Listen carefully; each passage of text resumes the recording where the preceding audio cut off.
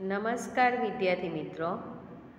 હું નાલંદા એજ્યુકેશન કેમ્પસમાંથી બોલું છું.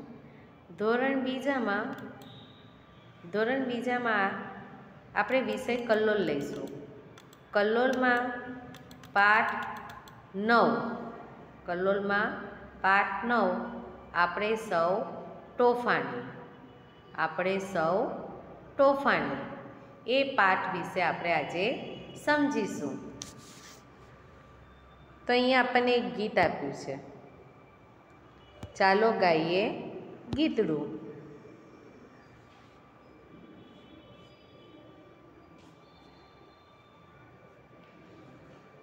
વડલા ડાળે વાંદરા તોડી કરતી હુપાહુ છાનો માનો જોયા કરું, થઈને ચૂપાચૂપ વડલા ડાળે એક મોટો બુઢિયો એ વાનરનો સરદાર.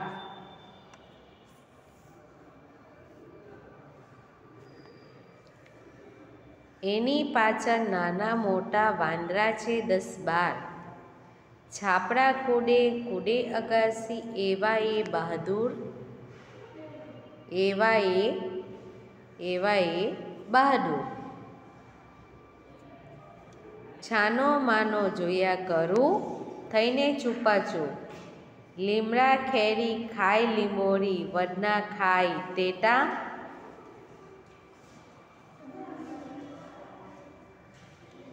કેરી કેરી ખાઈ ખાઈને ગોટલા નાખે એઠા. ઠેકડા મારે મારે ગુલાટો કરતા જૂટા જૂઠ કરતા જૂટા જૂઠ છાનો માનો જોયા કરું, થઈને ચૂપા ચૂપ.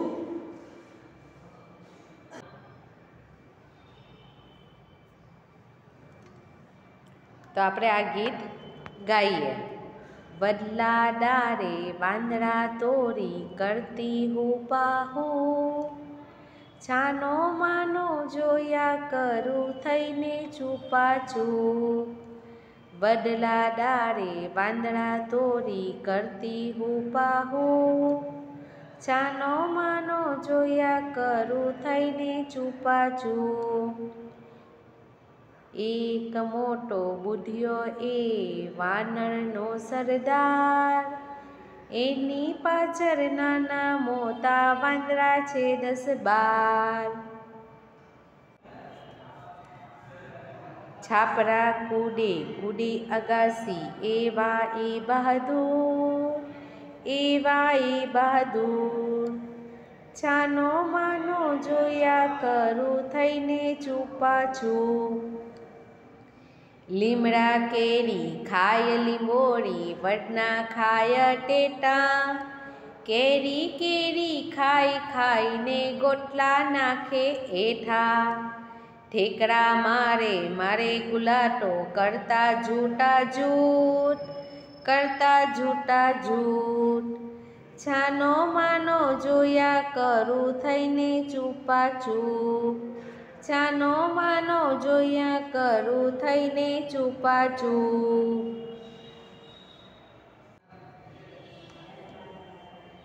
તો વદલા ડાળે વાંદરાની તોડી કરતી હોપા હોપ છાનો માનો જોયા કરું થઈને ચૂપા ચૂપ એટલે વદલાની ડાળ હોય તો આ વાંદરાની મોટી ટોળી હોય છે ઝાડ ઉપર.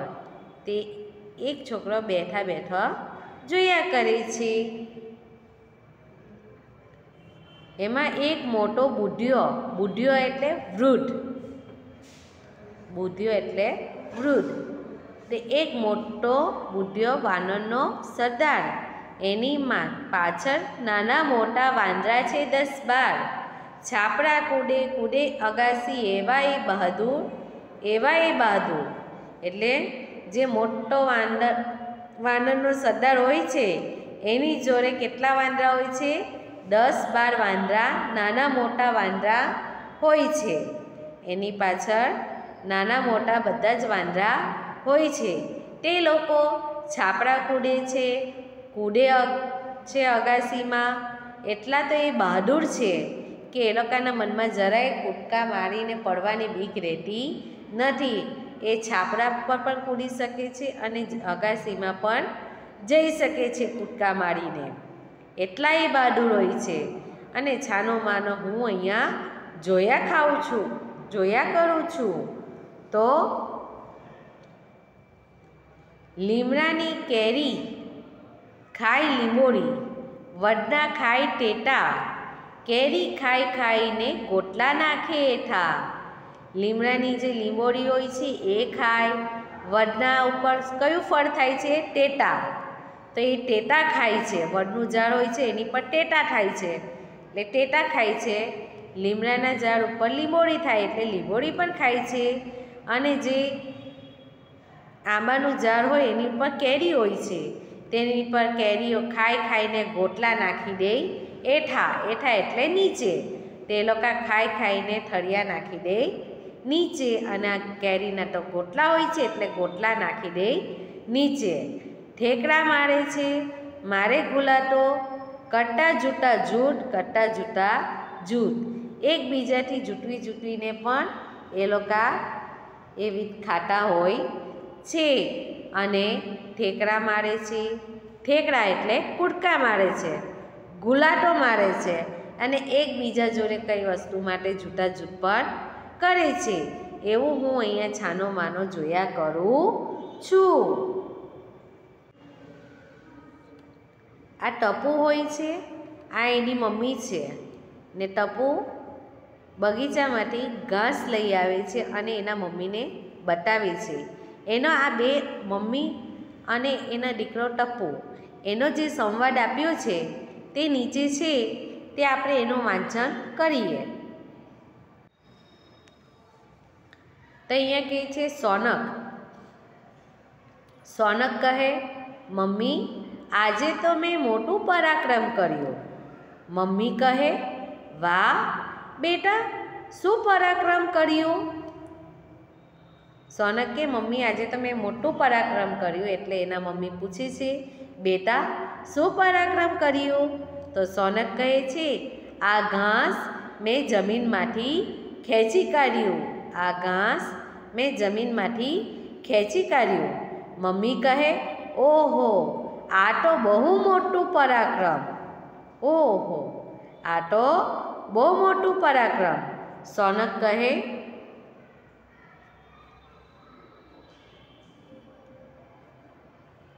સોનક કહે, હાસ તો વળી એક તરફ આખા બગીચાની જમીન આ ઘાસને પકડી રહી હતી અને બીજી તરફ હું એકલો હતો, તો પણ મેં ઘાસ ખેંચી કાઢ્યો.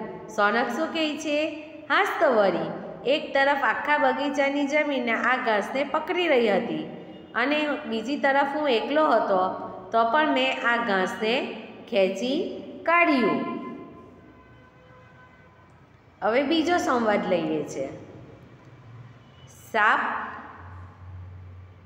સાપ કહે, બેટા, આજે કેમ આટલો ખુશ છે? તો બેટી બેતો કહે છે બેતો એટલે દીકરો. કહે છે, પપ્પા, આજે મેં એક નવું જ કામ કર્યું છે. પપ્પા, મેં આજે એક નવું જ કામ કર્યું છે. તો સાપ કહે, એવી તો શી નવાઈ કરી? તો બેટો કહે, આજે હું સીધો સીધો ચાલીને ઘરે આવ્યો. શું કહે છે? આજે તો હું સીધો સીધો ચાલીને ઘરે આવ્યો. હવે અહીંયા મીઠું મચ્છર.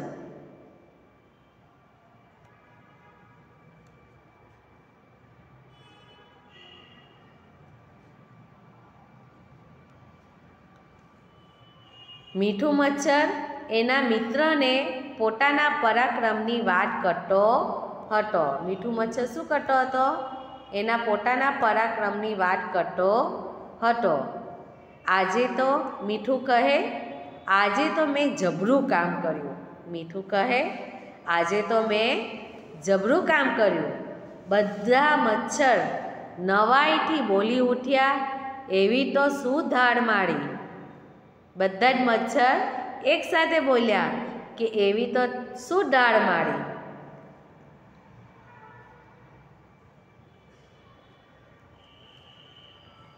મીઠું કહે આખી રાત પેલા ટપુભાઈનું લોહી પીધું ને બીજો મચ્છર કહે એમાં સી નવાય. મીઠું કહે, આખી રાત પેલા ટપુભાઈનું લોહી પીધું. તો બીજો મચ્છર કહે, એમાં સી નવાય. અમે બધા આખી રાત કોઈકને કોઈકનું લોહી પીએ છીએ ને. એમ કે, અમે તો આખી રાત કોઈકને કોઈકનું લોહી પીએ જ છીએ ને. તો મીઠું કહે, પણ ટપ્પુ તો મચ્છરદાનીમાં હતો. અને હું મચ્છરદાનીમાં ઘૂસી ગયો. શું કહે છે? ટપ્પુ તો અહીં કે મચ્છરદાનીમાં હતો, ને હું તો મચ્છરદાનીમાં ઘૂસી ગયો. બોલો, બધા મચ્છર કહે, વાહ મીઠું તારું પરાક્રમ, વાહ મીઠું તારું પરાક્રમ.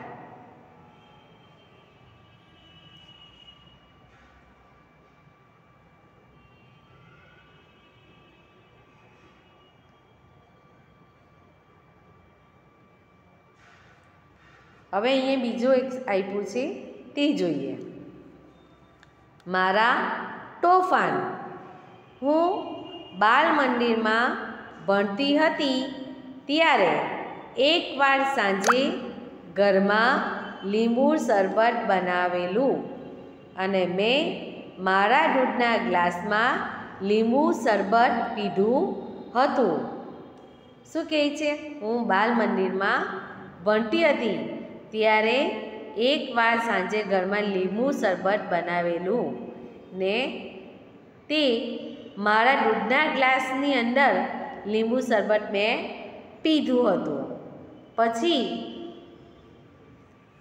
પછી દૂધ પીવાનો સમય થયો. પછી દૂધ પીવાનો સમય થયો.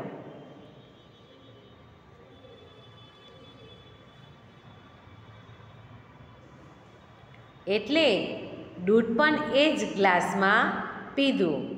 લીંબુ શરબત પીધું ને એ ગ્લાસમાં દૂધ પીધું. પપ્પાએ તે ગુસ્સેથી કહ્યું, આ દૂધ ફાટી ગયું. હવે આ ન પીવાય. પપ્પા શું કહે? આ દૂધ ફાટી ગયું. હવે ન પીવાય. મને નવાઈ લાગી. મેં પપ્પાને પૂછ્યું, દૂધ ફાટે એટલે શું થાય? દૂધ ફાટે એટલે શું થાય? પપ્પા કહે એ તો દૂધમાં ખાટી વસ્તુ ભળે ને એટલે દૂધ ફાટી જાય. તને ખબર ન પડે. મને તો ફાટી ગયેલા દૂધના ટુકડા દેખાયા જ ન હતા. મને તો ફાટી ગયેલા દૂધના ટુકડા દેખાયા જ ન હતા. મેં તો રાતે છાનામાના ફ્રીજ ખોલ્યું અને દૂધની તપેલી ભરેલી હતી. તેમાં થોડું લીંબુ શરબત ઉમેરી દીધું. મેં તો રાતે છાનામાના ફ્રીજ ખોલ્યું અને દૂધની તપેલીમાં ભરેલી હતી. એમાં થોડું લીંબુ શરબત ઉમેરી દીધું. તમારા દાદા, દાદી અથવા મમ્મી, પપ્પા પાસેથી જાણો કે તમે નાના હતા ત્યારે કેવા તોફાન કરતા હતા? તમે પણ નાનપણમાં કંઈક મોટું તોફાન તો કરેલું જ હશે ને? આ તોફાન વિશે તમારે વર્ગમાં વાત કરવી.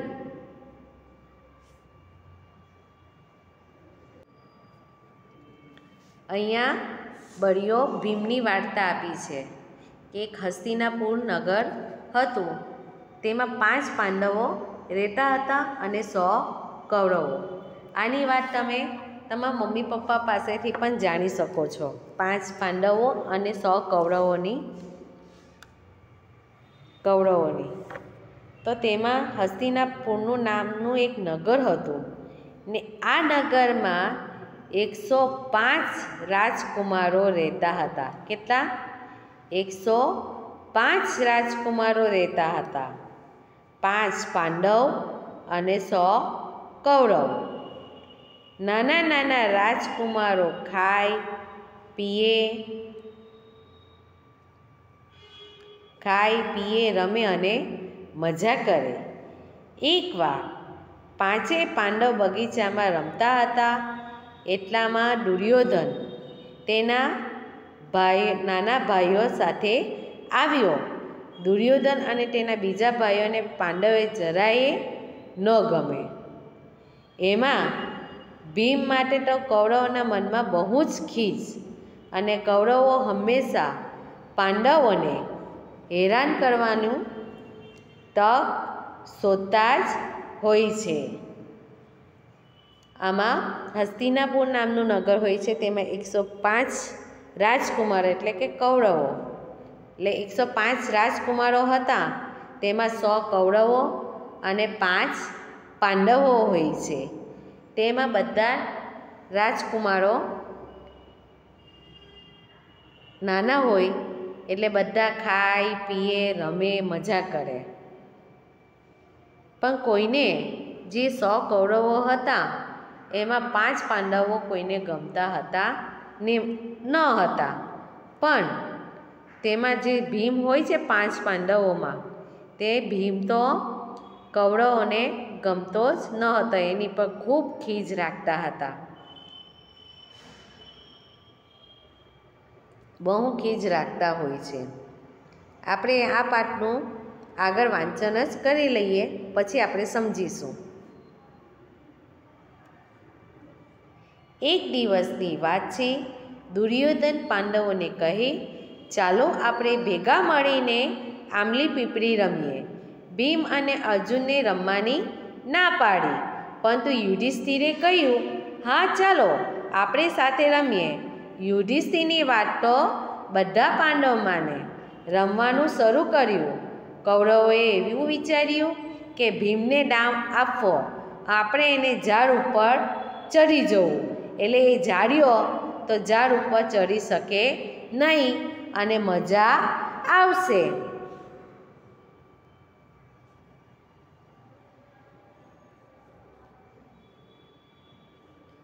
ભીમનો ડાવ આવ્યો. ભીમ આંખ બંધ કરીને ગણવાનું ચાલુ કર્યું. એક, બે, ત્રણ, ચાર, દસ, અગિયાર, બાર, વીસ, ત્રીસ, પચાસ, એંસી, નેવું, એકાણું, અઠ્ઠાણું, નવ્વાણું અને સો. આંખ ઉગાડીને આજુબાજુ જોયું તો કોઈ જોવા ન મળે. દુર્યોધન અને બીજા કૌરવો ઝાડ ઉપર બેસીને હસતા હતા. ભીમ ઝાડ નીચે ગયો. કૌરવો ભીમને ખીજાવા માંડ્યા. જુઓ આ ઝાડ છે, ત્યાં કૌરવો બેઠા છે અને આ નીચે ઊભો છે ભીમ છે. તો ભીમ શું કરે છે? તે જુઓ. જાડીઓ જાડીઓ ભીમ, ઝાડ ઉપર ચડશે કેમ? આંબલી પીપળીનો ડાવ દેવા આપણને એ અડશે કેમ? ભીમ વિચારમાં પડ્યો, આ વાત તો સાચી. હું ઝાડ ઉપર કેવી રીતે ચડું? ત્યાં તો કૌરવો ફરીથી બોલ્યા, કોઈના ટેકે ચડશે તો પણ ફેરો એનો ફોગત જશે. ઝાડની ડાળીએ પગ મૂકશે તો ડાળી સાથે નીચે જશે. ઝાડની ડાળીએ પગ મૂકશે તો પણ ડાળી સાથે નીચે જશે. ભીમને બહુ ગુસ્સો આવ્યો અને જોરથી બૂમ પાડી ને એના એક મોટા અવાજથી એક એક.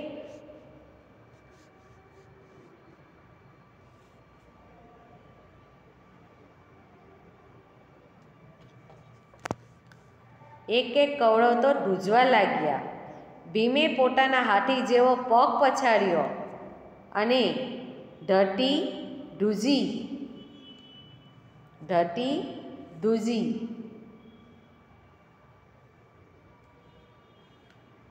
બે, ત્રણ કવળો હતો.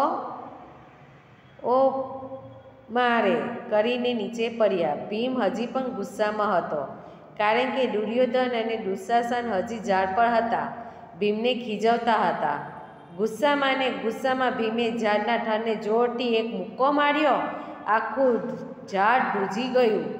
પાંચ પાંચ કવળો હતો, ચાર, પાંચ કવળો હતો. મરી ગયા ઓ મારે બોલતા નીચે પટકાયા. આ જોઈને ભીમને યુક્તિ સીજી એણે તો ઝાડના ઠરને બાટમાં પકડીને જોરથી જોરથી હલાવવાનું શરૂ કર્યું. આખું ઝાડ હિલોડા લેવા માંડ્યું. ઝાડ હલાવવાથી દુર્યોધન, દુશાસન અને બાકીના બધા જ કળો ઝાડ ઉપરથી ટપોટપ નીચે પછડાયા.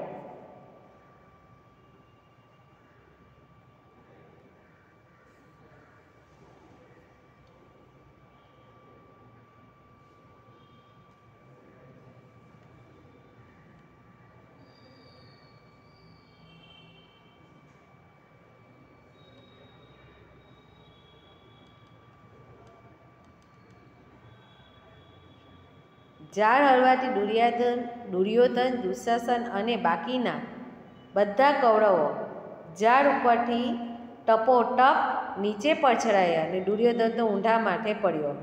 ભીમ દુર્યોધનને અડી ગયો, ડામ દુર્યોધન પર આવી ગયો અને ભીમ ખુશ થઈ ગયો. આ પાઠનું આપણે આજે વાંચન જ કર્યું છે. એટલે ફરીથી આવતો જે વીડિયો જોઈશું, એમાં ફરીથી આ આપણે શીખીશું. જે આપણે આ પાઠ જોયો છે આજે, તે આપણે અહીંયાથી જોવાનું છે. ભીમ, બળ્યો, ભીમ. આ વાર્તાથી આપણે ફરીથી આવતા વિડીયોમાં સમજીશું અને શીખીશું.